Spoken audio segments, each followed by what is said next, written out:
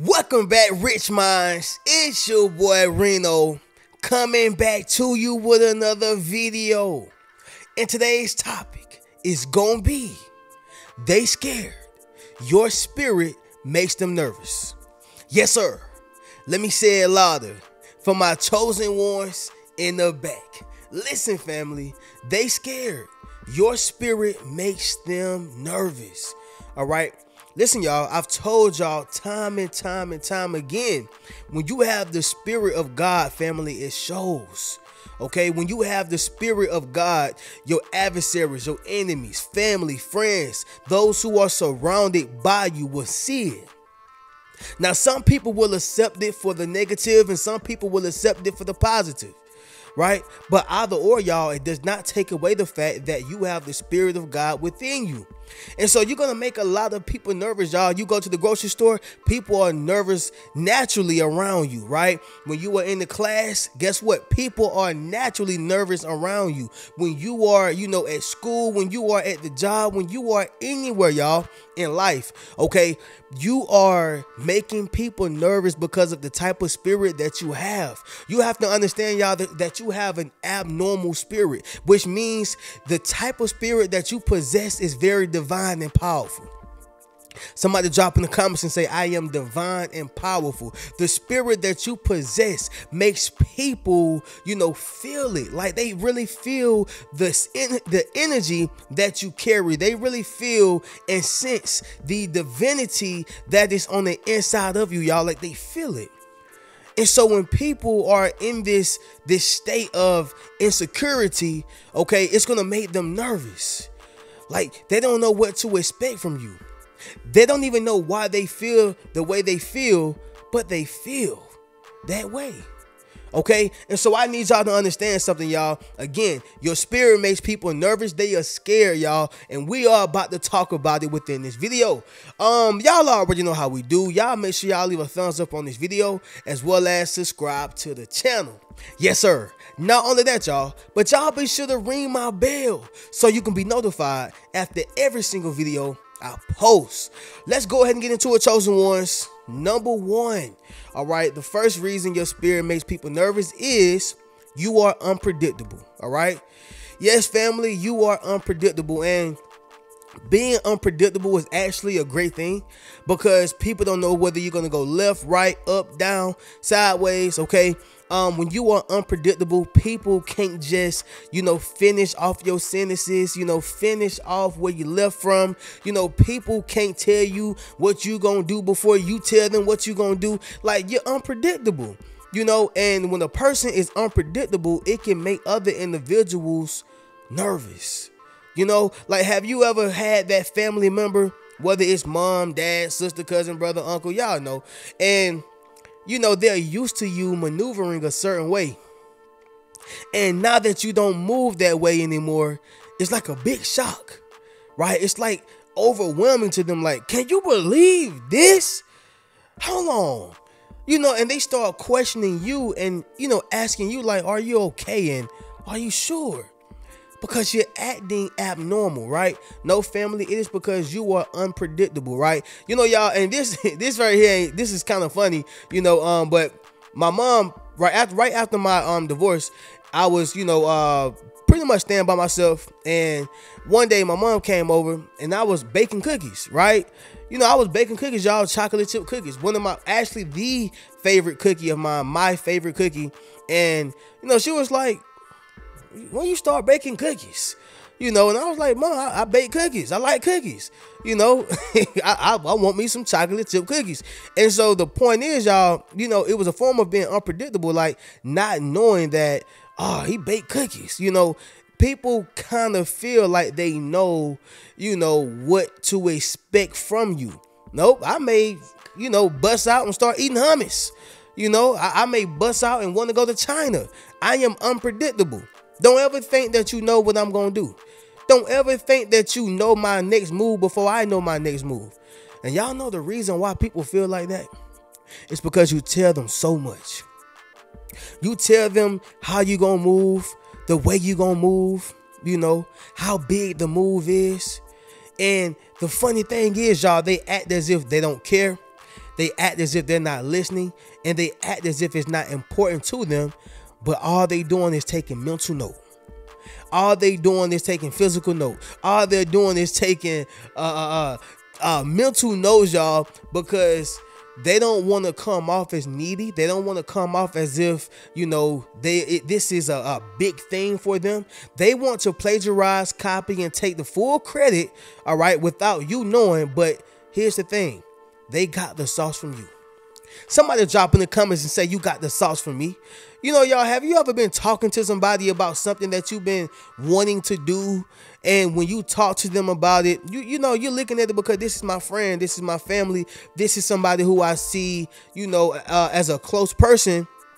You know, after you get done talking to them, y'all, you start hearing them having the same type of verbiage, the same type of conversation.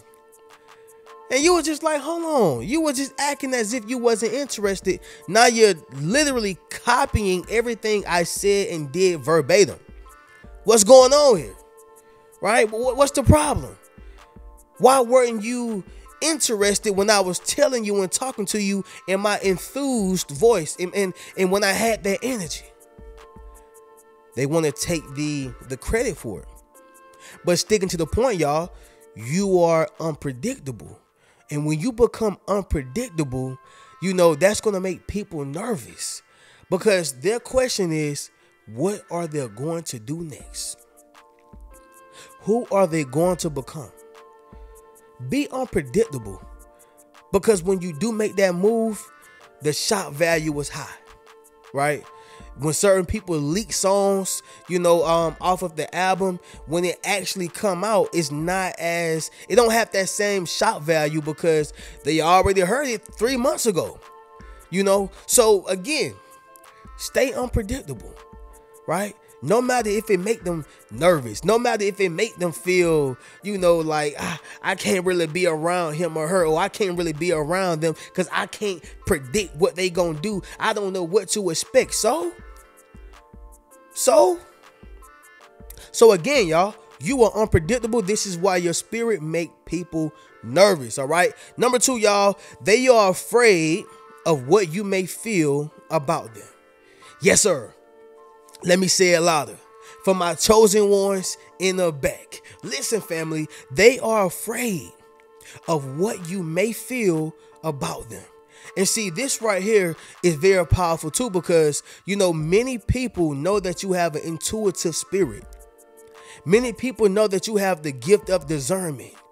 They know these things. However, they don't want to be around you because of those very things that you have. These are spiritual gifts, people. These are spiritual gifts, people. So understand something they are afraid of what you may feel about them because they know that they really got a knife behind their back, right? They know their true intentions. They know why they came into your life. You know, when a person gets successful, or in the process of becoming successful, they're gonna have certain people who come into their lives who really want to help them. Like, like they may have agents who want to help them, you know, um, managers who really can see the highest potential of them, right? They may have people who want to assist them, real life people who are, you know, interested in helping them. And then you got the leeches. you know, you got the people who say, oh man, if you give me a million dollars, I can bring you back five million. Well, they never seen that person after they gave them the million dollars. I was just a tool. I was just something and someone for you to use. Make sense what I'm saying, y'all? So when you are able to feel that, they don't want to be around that because you are willing to expose the truth. You are willing to talk to God to get those hidden secrets. You are willing to open your eyes. See what the world want to do is is blind you with materialistic possessions. They want to blind you with the money. They want to blind you with the things that don't mean anything. I mean, we just seen Hurricane Helene, right? Um, Hurricane Milton as well and how these storms have taken away all these materialistic possessions. It don't mean nothing. I don't care if your house is worth uh, uh five million dollars, and I don't care if it's worth fifty thousand dollars. materialistic possessions don't mean anything. Can we use them while we are here? Absolutely. You know, technically a decor don't mean nothing, but it doesn't mean I, I shouldn't put it up in my house. Oh, decor don't mean nothing, so I'm not gonna put it up. I'm gonna put that decor up. But I understand the true value and the true meaning in life, right? And I want to bring this thing back to your spirit, the spirit that you have, the spirit that you possess. It makes people afraid because they know when they get around you, you going to feel something about them and it makes them nervous. It makes them nervous to even speak it makes them nervous to even talk. Y'all ever notice, like, let's just say you are that spiritual friend and you have another friend and they bring somebody else around, and that friend that you have just got a good heart, right? Maybe you are the friend, but you have that good heart, or they have that good heart. And I'm talking about y'all, it's so good to where it's like good to a fault. And whenever that other person come around, you're not so giddy, right? Or they're not so giddy. They're not so open and outgoing. It's not to say they're being buttholes, but it's to say that they are very observant. And so when this person notice how observant you are, or how observant they are, they kind of shy away because they know that you know. So they go. Understand what I'm saying, y'all? Your spirit make them nervous right? This is why they are scared. Number three, family, you have a confident spirit, right? You have a confident spirit. And family, confidence is one of the most powerful things you can have. Because if you are confident, you can conquer the world, literally. If you have confidence, you can overcome your obstacles. If you have confidence, you can achieve all your goals. If you have confidence, you will be able to build something enormous. Okay, you you will have the ability to build something big, huge. You will because this is what confidence do. Confidence is the difference between a man approaching a woman and getting rejected and still moving on, right? And a man approaching a woman getting rejected and staying right there. Oh, I'm too ugly. Uh, I, I can't do it, man. They don't like me. My nose too big, right? But meanwhile, you got people who look like Dumbo, you know, with 10 girls on a on, on a uh, right hand side. But I'm not making this about women and men. I'm saying when you have confidence, there's nothing that you can't attain. There's nothing that you can't build. There's nothing that you can't get. There's nothing that you can't uh, make happen because you have confidence. And so, family, when you have a confident spirit, you're going to make a lot of people nervous. This is why they want to dim your light.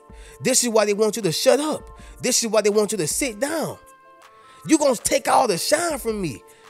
Cut that light down. Guys, stop smiling so much. Stop laughing so much. And you like, man, I'm just trying to bring light and life to the situation.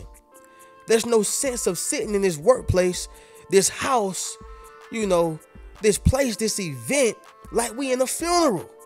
Last time I checked, we supposed to be having fun. Last time I checked, we were supposed to be doing something that was bringing some type of happiness to it. Why are we sitting here like it's a funeral? But this is what they want you to do. So again, y'all, you have a confident spirit. Okay? You have a confident spirit. Number four, y'all, you are ambitious, okay? AKA driven, right? Let me say a lot of y'all, for my chosen ones in the back, you are ambitious, okay? AKA driven. Now, I want to, I'm gonna play God's advocate on this, y'all. Um, yes, having too much ambition can be bad because you can miss out on loved ones, family, people who really care about you, your health, things that really can move the needle forward for you, not financially, but emotionally, spiritually, and physically, right? And of course, health wise, y'all. Um, what I'm saying is, y'all, ambition can be bad. Don't get this twisted, right? Um, there was a book I was reading, and it says that ambition is the evil brother of aspiration. Let me say that once again, y'all. It says that ambition is the evil brother of aspiration. And so, what that simply means is, y'all, be aspired right? Aspire to do something, aspire to build something, but don't be overly ambitious to where you don't even see the true value and meaning in life, right? So understand what I'm saying, y'all. Now, again, ambitious can be good as, as well because you know it keeps you driven right it keeps you on your purpose it keeps you pushing it keeps you continuing to drive some people lack that ambition. And so when you are around people who lack the ambition, what happens is, y'all, is that many people and those who are close to you will look at you and say, What are you doing? Why you keep pushing and, and keep going? Just sit right here in this box. Be happy with your job. Right? Who's saying the song, y'all? Don't worry be happy. That's what they want you to do. See, they got the don't worry part right, right? That's fine. Don't worry. But I am not wrong for, you know, uh, not being happy with where I am currently. I am appreciative right? But I'm not going to get comfortable in poverty. I'm not going to get comfortable in not having. I'm not going to get comfortable with having to be on food stamps, welfare. I'm not going to be comfortable with that. And you ain't going to tell me I'm a bad person because of that. We're going to go ahead and get that straight up and down. Up and down. But follow what I'm saying, y'all. It is okay to be ambitious to a, a degree, to a, to a certain extent.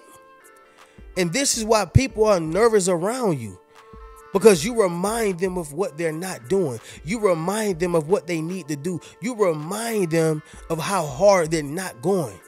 They got kids. And they and they're scraping by doing the bare minimum. Now I'm not saying that they are wrong for, you know, what they can't do, right? You know, because at the end of the day, at the end of the day, y'all, I don't care who you are, from the top to the bottom, we all had to go through some type of struggle, right? And of course, some people were born into wealth and riches, but that's not the mass majority. I don't care what nobody say. That's not the mass majority. That is a small portion of the population. But still, when you are ambitious, you got to realize something, y'all. You're going to make a lot of people nervous. They can't be around you, right? They can't be around you. Moving on to the next one, y'all, is going to be number five. That is, um, you have the spirit of a leader. Okay, you have the spirit of a leader. See, when you have the spirit of a leader, everybody don't want to feel like they're being led, especially not by you. I just made a post, y'all, and I said that there's so many people who are inspired by you, but they will keep it in secret because it's you. Let me say a lot loud, y'all. For my chosen ones, in the back. Listen, family, I said there's so many people who are inspired by you, but they will never tell you uh, because it's you. Or I say they will keep it in secret because it's you. My bad, y'all. But yeah, this is what they would do. They would keep it in secret because it's you. You have the spirit of a leader. And see, the problem is they feel like they should be much further than you. And so what they're going to do is, is, is diminish your accomplishments and make them seem small and minuscule. They're gonna try to make them seem as if you ain't did you ain't did nothing that I can't do. Well, why haven't you did it? Why you ain't do it? I'm just saying, family. But this is how insecure people think. This is how people think, you know, who are behind in life. Those who really are failures and they are constantly celebrating failure. But the fact that you are celebrating your success, they want to make you feel like your success ain't success when in fact they have not achieved anything. They haven't achieved nothing. And I'm not laughing at them or talking down on them, but they have the nerve to speak down on you. And that's crazy, y'all. Your spirit makes people nervous. This is why they're scared, okay? Because you have the spirit of a leader. They know that when they whenever they go right, you going left.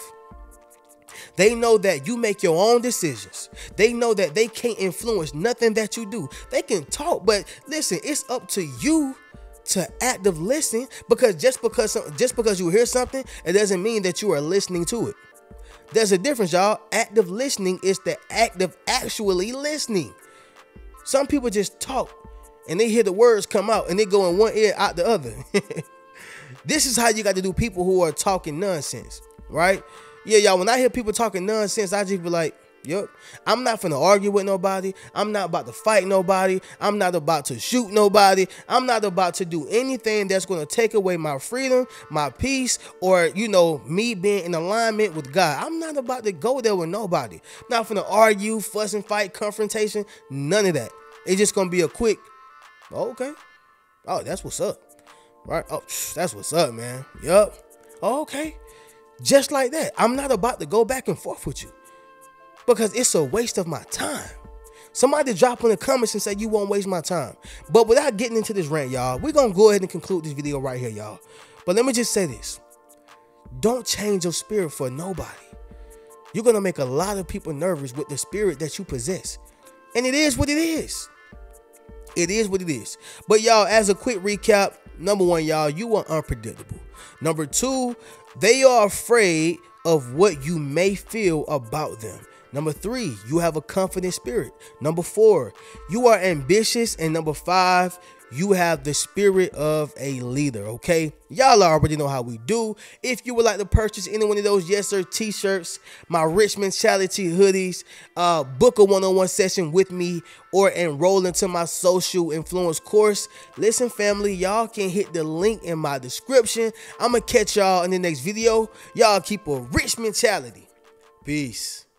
What's good, family? It's your boy Rheno. Check this out, y'all. I just dropped my social influence course, okay? Where I show you how to build up your social media platform as well as become a self published author. Understand what I'm saying, y'all? If you want to leverage your expertise, okay, you got to publish your book. But not only that, if you want to get popping and build your community, you got to build up your social media platform. And so I put that all in one course, okay? And so all you got to do is go to the link in my bio, all right? And drop in the comments social influence if you want to build up your social influence. Click that link in the bio and we're going to get you popping. Keep a rich mentality.